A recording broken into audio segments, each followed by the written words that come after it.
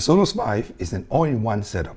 You need one power cord and everything else is contained within the speaker itself. A traditional alternative will be to buy a pair of speakers that you like, paired up with an amplifier connected with speaker cables. Then you will need to add a streamer or a CD source, any other source, which is capable of connecting to Spotify or Tidal or whatever streaming platform that you use. If you were so inclined, you could then repurpose a computer to run Roon. But whatever streaming solution you're looking at, you will still need to link them all up with interconnects to the power amplifier. Then there's a matter of whether the amplifier is well matched with the speakers or not. And you have to worry if the sound signature of the streamer plays well with the amp and the speaker setup. With the Sonos 5, the matching is done for you. It is all housed conveniently into a single enclosure connected to your network wirelessly. And if you choose to add another speaker for a pair, they are also linked up wirelessly. No need to run a cable from here to here. All of these are controlled with a stable Sonos S2 controller app available for free on iOS or Android platform. And it allows you to connect to almost every streaming platform in the world. I usually like to give you a summary conclusion up front in a video, but today my summary conclusion is more upfront than ever. It is already in the title itself. I thought through a lot of combinations of traditional setup and I just can't think of a better more complete stereo solution at $1,000. The Sonos 5 is supported by a strong software platform. For the rest of August, I have many videos queued up to talk about the Sonos 5, including its place in the whole Sonos home theater offering. Do watch out for those videos, and if you're not yet subscribed on my channel, consider doing so and get first-hand access to my videos. Now, if you trust my judgment, then you can kind of end the video here. My recommendation for a pair of speakers within a $1,000 budget is to get a pair of the Sonos 5s. If you want to find out more, including a frequency response test of the Sonos 5s, as well as a sound demo from a single Sonos 5, as well as a pair of Sonos 5s, do watch on. Now let's get into the Sonos 5s in a bit of detail here. When you get a single Sonos 5, you will notice that Sonos allows you to place them either horizontally or vertically this way. Now, there are tiny rubberized feet on the side of the speaker to allow for that without marring the surface finish of the speakers. And it appears on all three sides, bottom and the two sides. In vertical placement, there are two orientations you can choose from.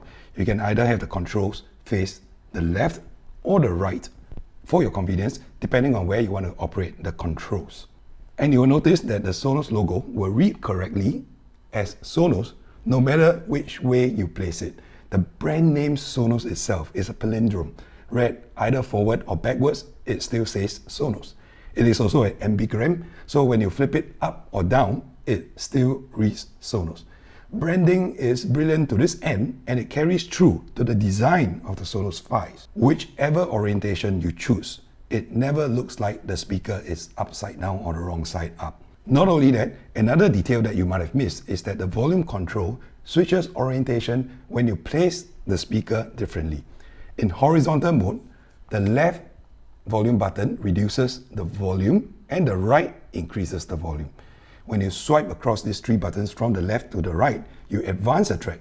And when you swipe it from the right to the left, you go back one track.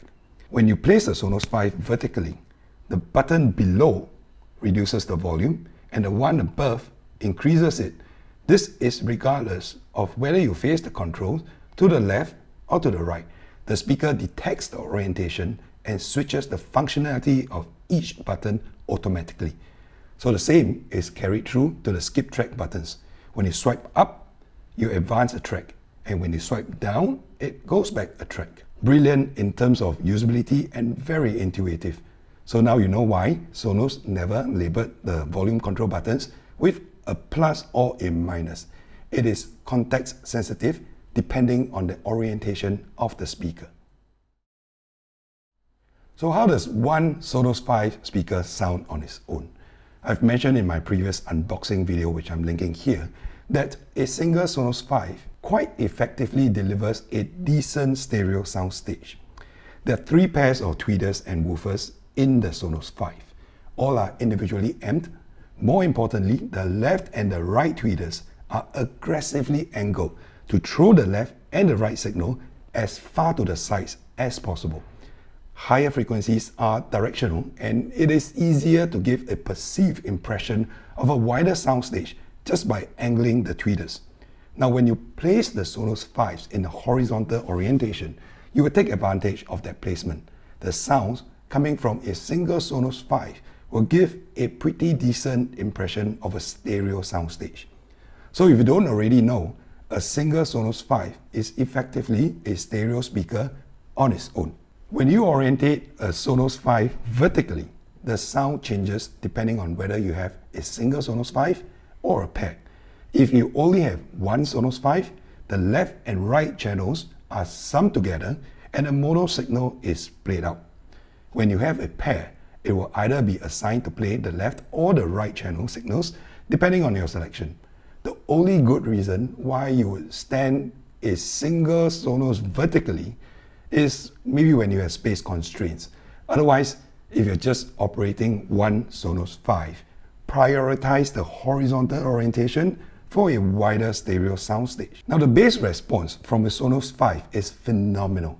It is one of those speakers that you ignore when you just look at it because you know it's quite small. But when you play a bass heavy track from it, it completely blows you away. Now try this track from this movie soundtrack of Lucy. It's titled First Cells, composed by Eric Serra. When I first got into Atmos home theater systems and I was venturing into ever bigger subs, this track was always the one that I went to in order to test the bass response of a new sub. This track will break lesser speakers. If you hear the cones splattering away like the limits have been breached, they most likely are. The notes on this track go so low and so loud, most speakers I test gives up and all you hear are the cones and not the sound itself. On the Sonos 5, it is being handled properly. It comes across clean and tight. It is quite amazing how this is handled.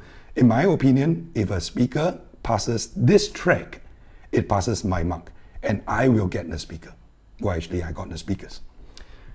Next, we will look at the measured frequency response curves from these speakers right after the break. So let's test the bass response out objectively. In fact, let's see how the speaker handles the entire human hearing frequency range from 20 Hz to 20 kHz. I've been relying on the UMIK microphone and the REV software, REW software, to measure the frequency response of the speakers that I test. If you're keen to check out some of the other videos I've made measuring the frequency response on various Sonos speakers, do take a look at my playlist. Now, if you look at the frequency response chart that I'm posting right here, you'll see that the frequency response curves represented by the green line for one Sonos 5s. And without trying to overanalyze this, you will notice that the lower frequency response is looking really good. It peaks out at about 42 Hz, which is mighty impressive for a speaker of this size. Now, more impressively, the minus 2 dB point from the peak is at 30 Hz. I've had a pair of SVS Prime Tower speakers before. It was driven by a 30 watts per channel power amplifier, and that delivered about 30 Hz at minus 3 dB from the peak. That setup obviously got very loud and is mighty impressive, but the Sonos 5 being able to deliver 30 Hz at audible levels in your mix is even more incredible. And if you contrast this with the Sonos Arc, the arc peaks at about 50 plus hertz and drops off a cliff after, not to mention the bass issue that the arc suffers from. Again, you should not expect a soundbar to deliver anything meaningful below 50 hertz, but I wasn't expecting the Sonos 5s of this size to deliver 30 hertz bass either. Yet 30 hertz it delivers. The Sonos 5s represents the pinnacle of sonic performance from one single speaker within the Sonos product lineup for music. And the only thing better than a Sonos 5 is a pair of Sonos 5. You get true stereo imaging and an increased combined output. How much increase? Let's take a look at the chart here. Now, the red line represents the stereo pairs output at the same volume setting. The increase in performance is heard and decisively measured and proven right here in this chart. From the sub 30 Hz all the way to 500 Hz, the pair of Sonos 5s deliver a much more substantial baseline. And it is not by a small margin. It looks like a 3 dB increase throughout and most parts delivering as much as a plus 6 dB increase. And if you are familiar with the dB scale, a 3 dB difference represents a perceived loudness of 200% increase or decrease in terms of volume. In short, you'll get twice the bass and the mid bass. This is seriously impressive and probably the main reason why you should be getting a pair of Sonos 5s rather than a single Sonos 5. The timing between the two speakers are impeccable for a pair of wireless speaker. They never sound out of phase. Vocals are locked right to the middle and it is easy to imagine that the singer is right in front of you, right in the middle. If you get this pair of speakers, at no point in time will you ever get the impression that you're linking up the two speakers wirelessly. It is as though there is an actual physical cable running between them, and the timing and the sync is as good as a pair of wired speakers. Now there is a major shortcoming in terms of the line-in. The line-in on the Sonos 5 looks like it's been designed for only music input and music only. Why? The first reason is that when you place the Sonos 5 in a surround setup, paired with an ARC, for example, the line-in stops working. Sonos says it's got something to do with the fact that the Sonos 5s are being used in the TruePlay profile for the surround setup already, but it just sounds like a lazy and a lame excuse. Similarly, I wanted a way to quickly group rooms and group in speakers in and out of a surround setup, but Sonos has yet to implement that. I thought room groups were a way to do that when they first announced the Sonos S2 platform, but basically it was just a way to play different groups, different rooms in a pre-configured group. Nothing more than that. The second reason why the line-in doesn't work for home theater application is the fact that there is a lag when an analog source is being converted into digital signals for the Sonos ecosystem. There's no optical or HDMI input for the Sonos 5s just one analog input. So the only way that you'll get sound from your TV is to use a headphone or the line level output. But when you do that, your sound will be out of sync and then you can't sync it with the visuals. The image will come first and then the sound will come. This delay is what is called the lip sync issues. It is not enjoyable to watch movies with lip sync issues. So if you choose to use the line-in on the Sonos to use it as a speaker for your TV, you can choose between two modes, compressed and uncompressed. If you use an uncompressed signal, you can operate at about a 75 milliseconds delay, which is actually noticeable enough for most people. If you use the compressed mode, the delay goes up to 2 seconds and it becomes extremely noticeable. In fact, the visuals, the video becomes unwatchable. There are ways to reduce the lag by introducing even more powerful processing into the Sonos products. But however fast the processor is, there will still be a delay. It will never be zero. In my experience, anything above 10 milliseconds will probably be noticeable, especially in scenes where there are explosions and gunfire. It is distracting when you see the explosion go off and then the sound follows after.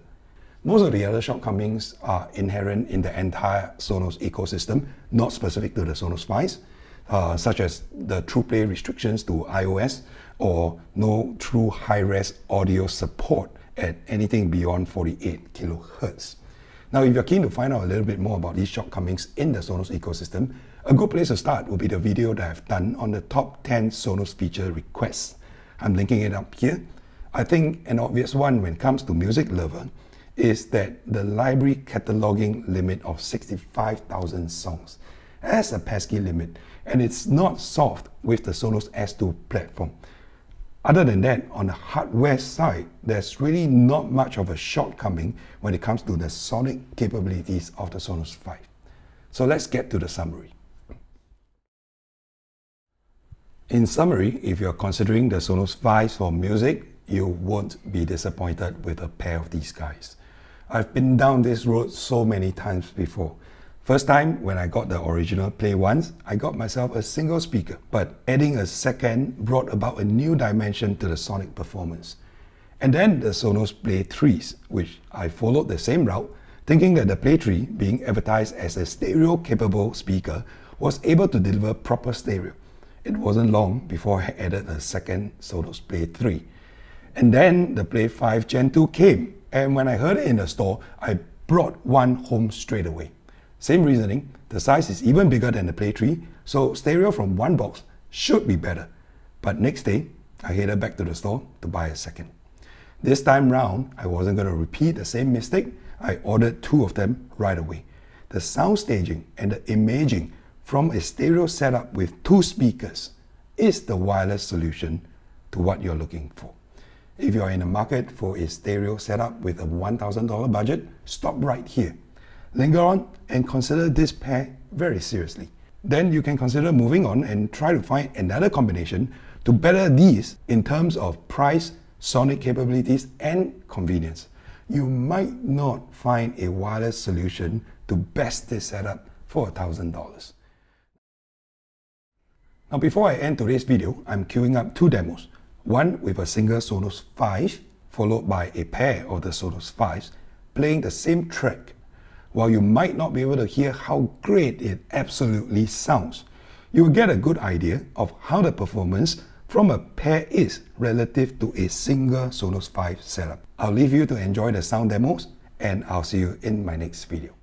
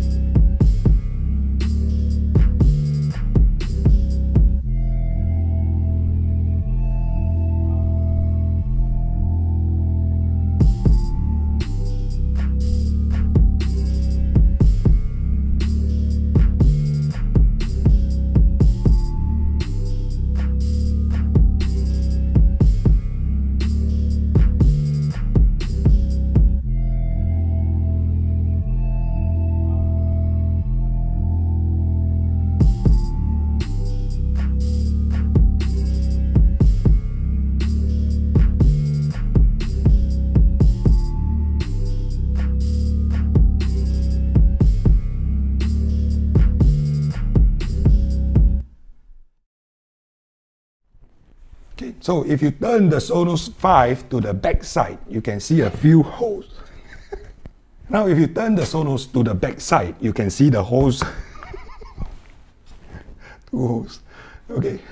So there's a small round hole there, quite tight. I think most people don't use it much.